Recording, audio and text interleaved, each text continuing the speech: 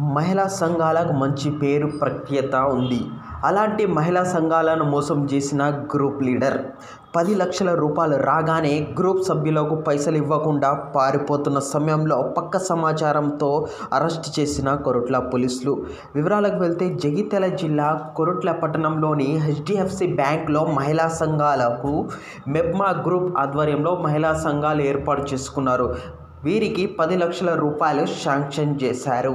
ముఖ్యంగా group leader ఉన్న Swarnalatha group సభ్యులకు డబ్బులు ఇవ్వకుండా ఎగ్గేసింది ఆ గ్రూప్ సభ్యురాల్లో ఒకరైన కొరుట్ల సీఏ రాజశేఖర్కు ఫిర్యాదు చేసింది. వెంటనే స్పందించిన పోలీసులు ప్రత్యేకంగా టీంని ఏర్పాటు చేసుకొని స్వర్ణలతను కొరుట్ల శివారు ఎహిన్పూర్ గ్రామంలో మారుతి బ్రిజా కారులో వెళ్తున్న సువర్ణలతతో పాటు మరో వారి ఇద్దరు అనుచరులను అరెస్ట్ చేశారు. వారి వద్ద నుండి ఏడు లక్షల రూపాయలను స్వాధీనం చేసుకున్న కొరుట్ల పోలీసులు మహిళా సంఘాల పేరుతో ఎవరైనా మోసాలు చేస్తే మాకు వెంటనే సంప్రదించాలని కొరుట్ల సిఏ రాజశేఖర్ పేర్కొన్నారు. పోలీస్ నజర్ న్యూస్ కొరుట్ల జగిత్యాల జిల్లా తెలంగాణ. కోరుట్ల హెచ్డిఎఫ్సి బ్యాంక్లో మదీనా మహిళా పొదుపు గ్రూప్ నుంచి వాళ్ళ పేరు మీద ఒక పది లక్షల రూపాయలు లోన్ శాంక్షన్ అయితే ఆ లోన్ తీసుకొని ఆ గ్రూప్ ఆర్పి రిసోర్స్ పర్సన్ అయినటువంటి స్వర్ణలత అనే ఆమె ఆ లోన్ తీసుకొని ఆ మెంబర్స్కి ఆ లోన్ ఇవ్వకుండా ఆమె దుర్వినియోగానికి పాల్పడిందని ఆ లోన్ తీసుకుని ఆమె కనపడకుండా వెళ్ళిపోయిందని చెప్పి ఇరవై తొమ్మిదో తారీఖున ఆ మదీనా గ్రూప్ లీడర్ జకియా బేగం అనే ఆమె మాకు కంప్లైంట్ చేయడం జరిగింది. ఆ విషయంలో కోరుట్ల పోలీస్ స్టేషన్లో కేసు నమోదైంది. ఈ కేసు విచారణలో క్రమంగా నిన్న సాయంత్రం ఇక్కడ ఎకింపూరు దగ్గర కెనాల్ వద్ద ఒక బ్రీజా కారులో వెళుతున్నటువంటి వెళ్తున్నటువంటి నిందితులు స్వర్ణలత మరియు అనుపకృష్ణ మత కదరాపూర్ మండలం చింతకుంట గ్రామానికి చెందిన అనుపకృష్ణ అనే ఇద్దరిని కూడా మేము అదుపు అదుపులోకి తీసుకోవడం జరిగింది. వారి వద్ద నుంచి విచారణ క్రమంలో ఏడు లక్షల రూపాయలు కోరుట్ల హెచ్డిఎఫ్సి బ్యాంక్ నుంచి రుణం పేరు మీద తీసుకున్నటువంటి ఏడు లక్షల రూపాయలు రికవరీ చేసుకోవడం జరిగింది. ఈ క్రమంలో వారి విచారణలో దీంట్లో ఒక కొన్ని ఇంపార్టెంట్ ఇష్యూస్ పోలీస్ వాళ్ళ నోటీస్కి వచ్చినాయి.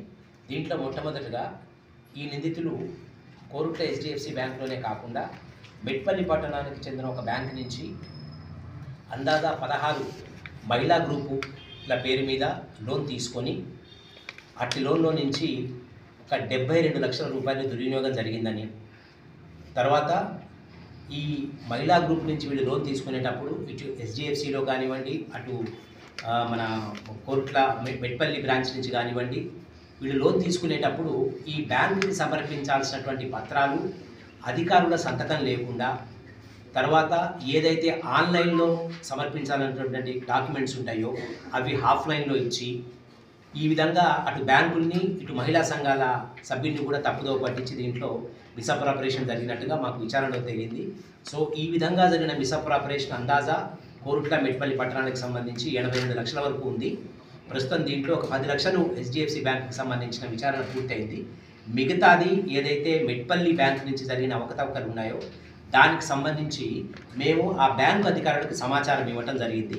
ఆ బ్యాంక్ అధికారుల దగ్గర నుంచి పూర్తి వివరాలు తీసుకున్న తర్వాత ఈ పూర్తి ఎంత మిస్అప్రాపరేషన్ జరిగింది దీంట్లో ఎంతమంది ఇన్వాల్వ్ అయ్యారు అనే దాని మీద పూర్తి విచారణ చేపట్టి వాళ్ళని కూడా కోర్టు పరిధిలోకి తీసుకురావడం జరుగుతుంది. ప్రస్తుతానికి మేము అరెస్ట్ చేసినటువంటి ఇద్దరు కూడా ఈ స్వర్ణలత ఆర్పీగా పనిచేసేది. అదేవిధంగా ఈ అనుపకృష్ణ అనే అతను చింతకుంటకి సంబంధించినటువంటి వ్యక్తి. ఈ స్వర్ణలతకి పరిచయం ఉన్నటువంటి వ్యక్తి కాబట్టి దీంట్లో నుంచి ఈ స్వర్ణలత బ్యాంక్ ద్వారా తీసుకున్నటువంటి అమౌంట్లో పెద్ద మొత్తంలో అందాజా ముప్పై ఆరు లక్షల రూపాయలు ఈ అనుపకృష్ణకి ఇవ్వడం జరిగింది. తర్వాత ఇంకా కొంత అమౌంట్ అదే మెప్పాలో పనిచేసినటువంటి వేరే ఉద్యోగి దగ్గరికి వెళ్ళింది.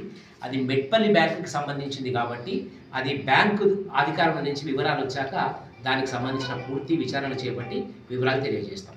థ్యాంక్ యూ ఈ అవకతవకలు అనేవి కోరుట్ల హెచ్డిఎఫ్సి బ్యాంకులో జరిగినంత వరకు అది కోరుట్ల పరిధిలోది కేసు దాని మీద నమోదైంది కాబట్టి దానికి సంబంధించిన రికవరీలు అయినాయి. అది పూర్తి విచారణ పూర్తిగా అది వెలుగులోకి వచ్చింది. ఇప్పుడు వేరే అధికారుల అంటే మెప్మాలో పనిచేసేటటువంటి కొంతమంది తాత్కాలిక ఉద్యోగుల సహాయంతో కోర్టుల సెంటర్గా పనిచేసిన తాత్కాలిక ఉద్యోగుల సహాయంతో మెట్పల్లిలో ఒక బ్యాంకును కూడా భారీ ఎత్తున మోసం చేయడం జరిగింది. ఆ దానికి సంబంధించినటువంటి వివరాలు మాకు బ్యాంక్ అధికారులు ఇచ్చిన తర్వాత అవి ధృవీకరించబడితే ఆ విధంగా వాటిని విచారణ చేపట్టి మిగతా నిందితులు దీంట్లో ఎవరు ఉన్నారో వారిని కూడా మేము అరెస్ట్ చేసి కోర్టుకు పంపడం జరుగుతుంది.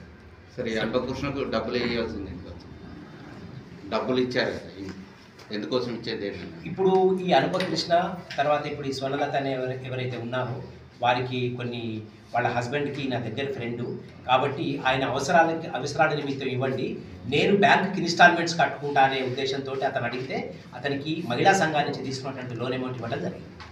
మున్సిపల్ అధికారులు అదేమన్నా ఇప్పుడు దీంట్లో ఏదైతే మనకి ఈ లోన్స్ తీసుకోవటానికి బ్యాంకుకి ఒక ఎంసీపీ అని పంపుతారు మైక్రో క్రెడిట్ ప్లాన్. అదేవిధంగా రిజల్యూషన్ కాపీస్ పంపుతారు. వీటిలో మున్సిపల్ కమిషనర్ గారి సంతకం ఉండాలి. ఏదైతే నీతిగా నిజాయితీగా జరిగిన ట్రాన్సాక్షన్స్ ఉన్నాయో అన్నిట్లో మున్సిపల్ కమిషనర్ గారు ఖచ్చితంగా సంతకం పెట్టి పంపారు ఇప్పుడు అవక అవకతవకాలు జరిగినటువంటి ఏ డాక్యుమెంట్స్లో కూడా మున్సిపల్ కమిషనర్ గారి సంతకం లేదు. అంటే ఇది మున్సిపల్ మున్సిపాలిటీకి సంబంధించినటువంటి ఇష్యూ కాదు. మున్సిపల్ కమిషనర్ గారి నోటీస్లో లేకుండా కింద ఉద్యోగులు తాత్కాలిక ఉద్యోగులు చేసినటువంటి అవకతవకలని మాకు ప్రాథమిక విచారణలో వెల్లడవుతుంది. మేము మెట్పల్లి బ్యాంక్ నుంచి ఈ అధికారులు అంటే ఈ మెప్మా తాత్కాలిక ఉద్యోగులు లోన్ తీసుకునే క్రమంలో ఇచ్చిన డాక్యుమెంట్స్ అన్ని కూడా వాళ్ళ దగ్గర నుంచి వాళ్ళు మేము తీసుకుంటాం దాన్ని బట్టి మిగతా విషయాలు తెలుస్తాయి. సార్ ఇప్పుడు ప్రాపర్ డాక్యుమెంట్ లేకుండా బ్యాంక్ వాళ్ళు లోన్లు ఇచ్చారు కదా?